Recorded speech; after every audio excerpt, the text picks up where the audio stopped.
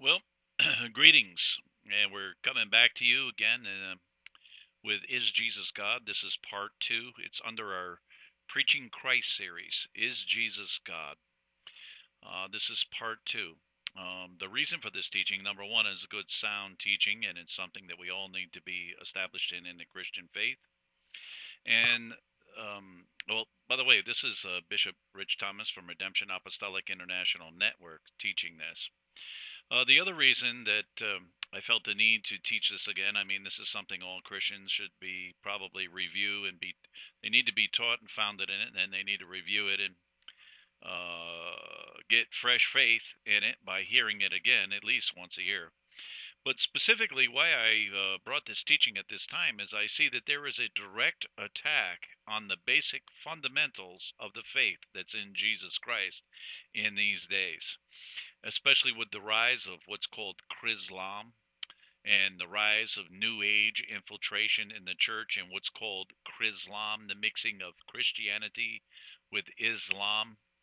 Um, it's very necessary, very needful, and important as a shepherd amen who's responsible and has to give an account to god to watch uh, of, of watching the sheep and keeping out the wolves, it's important that this teaching be brought forth and uh, be uh, talked about again. Now, um, uh, Islam says they believe in one God and his name is Allah. And we've had a lot of main, even main, what we would call mainline and big church kind of people go and set themselves in agreement with them that uh, they believe in the one God, like Islam, and the one God, and it's all the same one God. It is not the same one God. But uh, what I want to what I want to emphasize in this teaching right now is Jesus God. So we'll look at what the Bible really teaches about him. And then when we compare the counterfeit Islam to it, we'll see that there are two different things who's called God, who who the Quran calls the one God is different than who the Bible calls the one God. In fact, who the Bible calls the enemy, arch enemy of the one God, is actually Allah. All the boasts of Allah about himself are blasphemous boasts, are negating that Jesus Christ is anything, negating that there is any Holy Spirit of God, and even taking the attributes of God the Father upon itself, as well as God the Son and God the Holy Spirit taking those attributes upon themselves. Now, there's a real heavy duty teaching um, about the, the Trinity uh, in the sense of that uh, it's quite a challenge to grasp. So um, I'll, I'll get to that later on, and we'll teach that later on but uh, because I really want to do a good job, I have some excellent, excellent uh, things laid out in the Hebrew on that. But I need to go through and I need to look at a way to really simplify it and get it across how that from the very beginning, uh, God declared, uh, you know, the Trinity. So, anyway, and I don't want to say too much because it's something that really you have to look at the Word and it's better that the word by itself comprehends it. But it's all the way from the beginning, from Genesis itself, is declared. And again, the Quran denies it. Now, um, when one denies the Son, they have neither the Father, the Bible says, the Apostle John said, the Holy Spirit said through the Word to us. And therefore, they deny that Jesus is God the Son. They deny that He is the begotten of God. And therefore, um, you know, they do not have the God of the Lord Jesus Christ. They, it's another God. It's something else, which is not a God. It's a deception. In fact, Allah boasts of himself, he's the greatest of all deceivers. But anyway, enough on that. And so we're going to continue with our message. That's just by way of introduction. Again, we need to be founded and sound in the faith. Is Jesus God? Part two. Another place that we can see um, and you need to go back and look at part one because the Bible clearly refers to Jesus as God. And you go back and look at part one, and you'll see John 1 1. John, I put uh, John chapter 1, verse 14 with it. John chapter 20, 28, Titus 2.13, Hebrews 1, 8, and 2 Peter 1, 1. So that's part one. So there's all the scripture references. And for the scripture references in this, and you'll see them because um, if you're watching by video, it's by slide. And we'll do a written uh, part to go with the audio. but in this teaching, part two, right, we're going to see, right, that we're going to see in Romans 10, uh, Romans chapter 10, verses 9 through 13, Joel chapter 2, verse 32, Philippians chapter 2, verses 9 through 11, and Isaiah chapter 45, verse 23, we're going to show uh, to prove the point here what we're making, give you some witnesses on it. Now, the New Testament teaching that the divine titles of Jesus is Jesus God, part 2. The new covenant in the blood of the Lamb gives Jesus of Nazareth divine titles, divine titles such as, for example, it calls him Lord, calls him Lord. And often in the context where the use of the, the, this title, Lord, clearly represents and stands for the Old Covenant name Yahweh.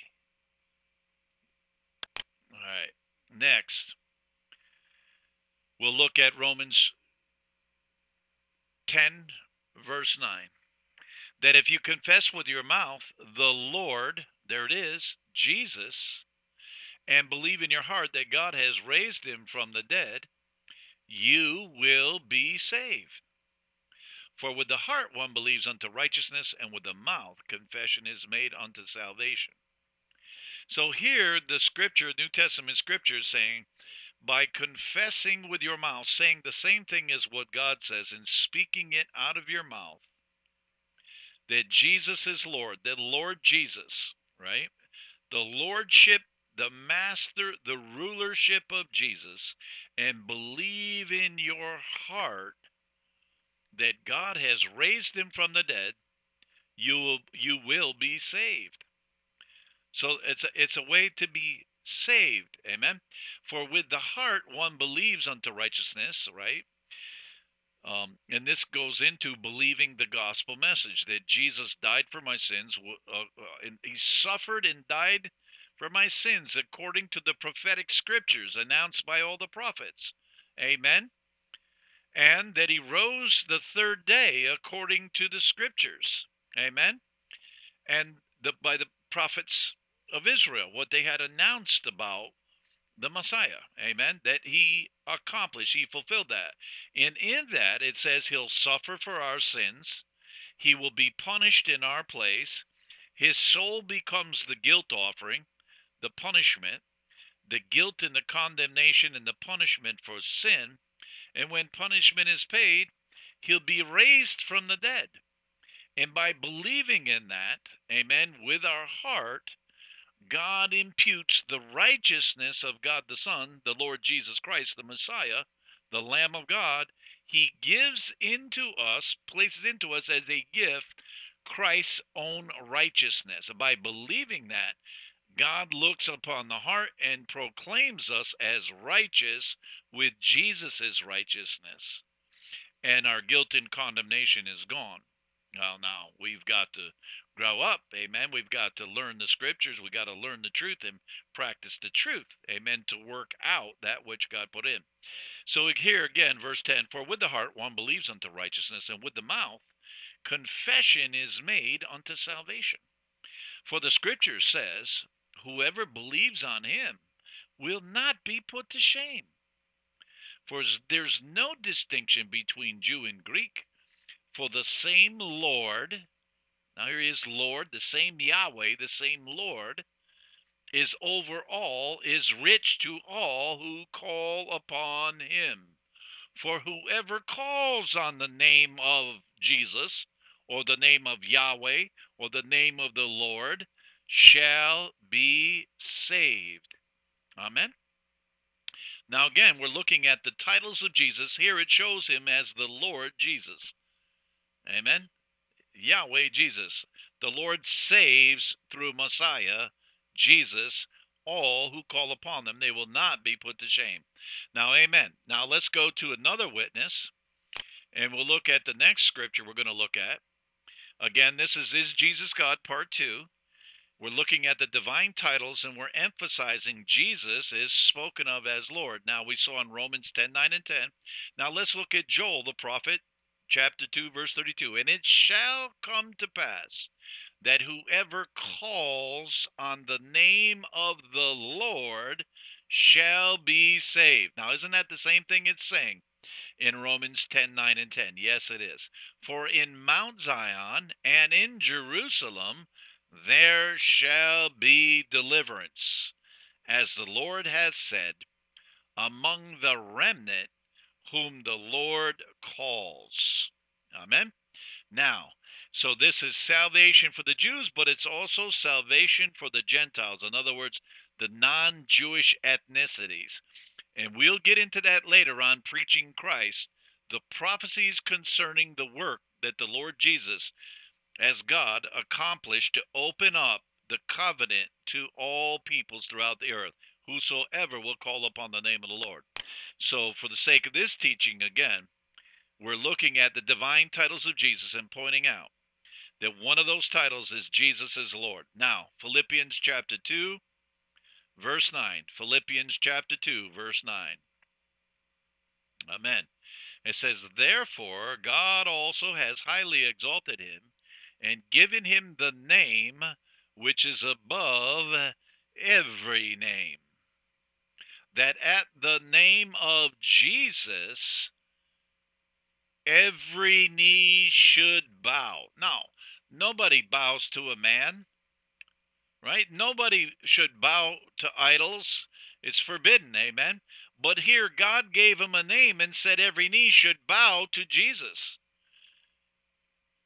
And we'll go farther, verse 10 that the name of Jesus every knee should bow of those in the heaven, even the heaven, it says here. That means even the angels of God, amen. And of those in the earth, that's all mankind, and of those under the earth, those chain fallen angels, and even all those things in the place of holding for the wrath of God, all will bow their knee. In heaven, in earth, and below the earth, everything shall bow its knee. In verse 11, and that every tongue should confess that Jesus Christ is Lord. That Jesus, remember, Christ is the uh, is the Greek equivalent for Messiah, the one who saves, the sent one, the the ruler who saves. Amen. Jesus Christ is Lord to the glory of God the Father. It glorifies God the Father. See, the Father had the plan, the Son executed the plan, amen, with the Holy Spirit. And when the Son went back to the Father, he received from the Father God the Holy Spirit and sent him forth back in the earth to complete the work, right? Amen that all men will repent, that all people will be converted, amen, that the gospel of the kingdom would go to them all, that God's desire that all would come to repentance, none perish, that all come to repentance, all would be converted, believing in and through the Messiah, uh, coming to the Father without without the, without sin, because Christ took it, Jesus the Messiah took it upon himself as it's written, cursed is one who hangs on the pole, like Moses lifted up the serpent on the pole, and whoever would look with a long, steady gaze upon it would receive the revelation that God would one day put judgment for sins on the pole. Amen. Curse it, cursed thing, and be done with it, so that those who looked upon it, those who believed upon it, that they would have absolution and they would have a washing away, they would have a forgiveness and a remission and a wiping out of sin with its consequences, so that once again they could have a new heart, a new nature, and serve God and know God within them, each man himself knowing God personally, and that to the glory of the Father. Amen.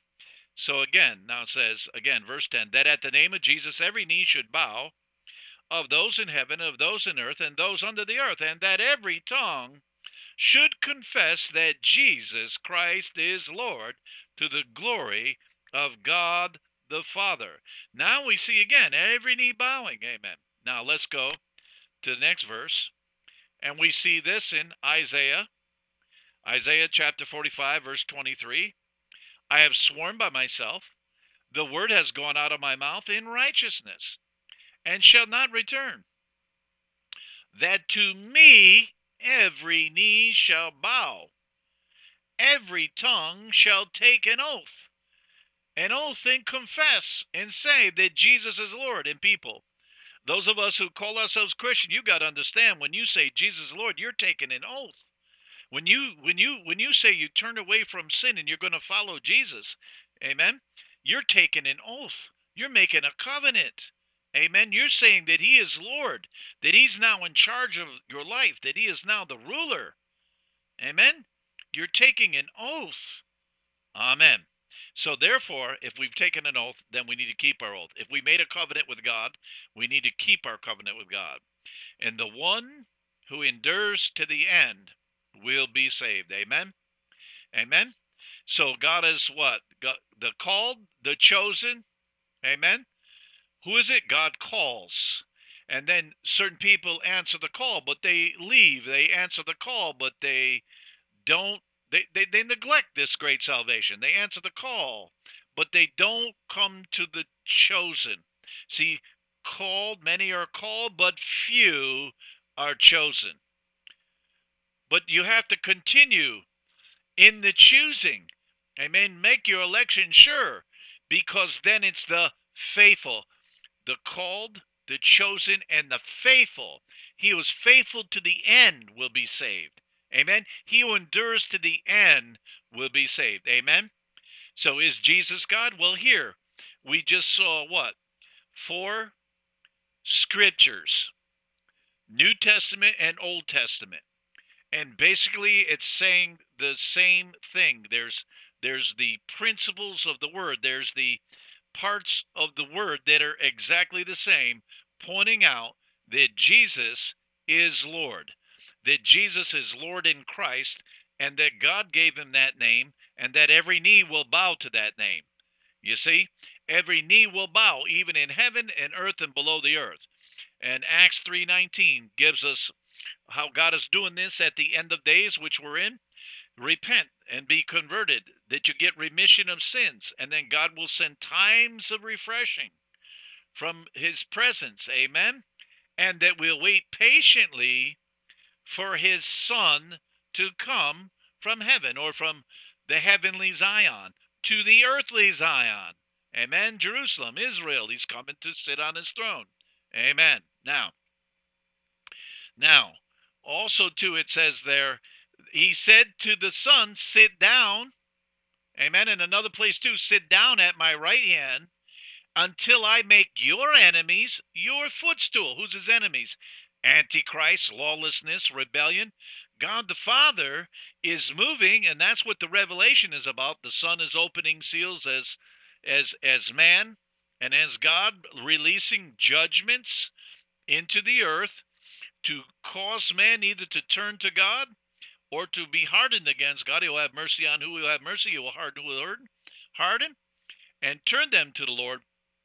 And and there'll be some that won't, and the devil won't, and the devil and his boys won't. And so that at the end, right? And then the Father will make every one of those things a footstool. See, people, we're in the shaking. We're in the birth pangs of the kingdom of the Lord Jesus Christ. We're in the final we're coming into the final stages where the birth pangs, where God brings low every proud and lofty thing, every arrogant thing, brings it down. It falls to the ground. In order, in order, amen, that the kingdom of the Son will be all that remains upon the earth, and Jesus will come and be enthroned in Jerusalem. Well, Lord bless people. Uh, this concludes part two. Again, uh, for the sake of, uh, here's a, I put up another slide for those of you looking by video and watching by video. You can find our website, one of our websites, at rainoutreachtv.com. That's rainoutreachtv.com. And uh, be sure to catch all of these Is Jesus God series. And don't forget, other Preaching Christ series of teaching that will be under that category on our site. When we conclude this, we'll get into some other preaching of Christ. We have another site that you can uh, get to uh, through that site where we've actually taught uh, the things that Jesus accomplished in the behalf of people upon the cross, certain exchanges and certain deliverances. And so uh, he took the evil due us and the con- bad evil consequences, and uh, in place he gave us blessings. He took cursings and consequences of guilt, condemnation, and judgment upon himself in order to give unto us some good thing. And um, those teachings will get into that. And I will probably redo them in this format to make it easy for people, uh, you know, to assimilate them as they have the opportunity. Amen. Amen. Now, so be sure to catch it all again. RainOutreachTV.com. And then under category, which is in the navigation links, look under preaching Christ. And then under preaching Christ, you'll see is Jesus God? Is Jesus God one? Is Jesus God two? And um, I'm trying to get the scripture references there for you too, especially for those listening by audio. And the audio only will be there.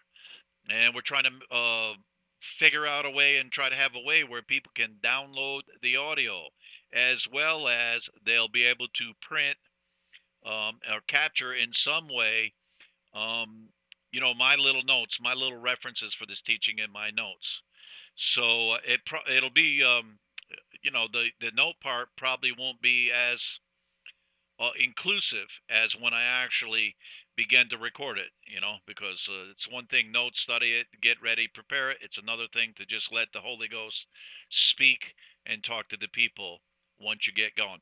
Well, this concludes again. This is Bishop Rich Thomas from Rain Rain Ministries, which is uh, Rain is acronym for Redemption Apostolic International Network. Amen.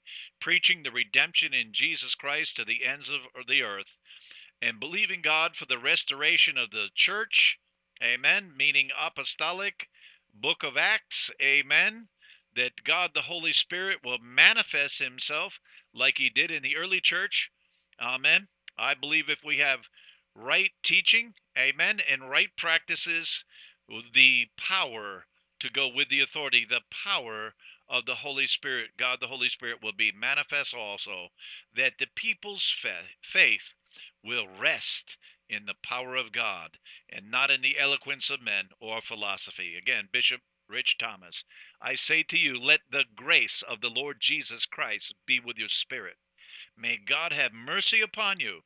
Amen. May God manifest his peace to you. May you know the love of God. Amen. May you know the fellowship of the Holy Spirit. May you know the love of the Son of God. May you know the fatherhood of God. I pray in the name of the Lord Jesus Christ, according to all the work that he's accomplished for you, let it be done unto you in Jesus' name. Amen. Until next time, Bishop Thomas.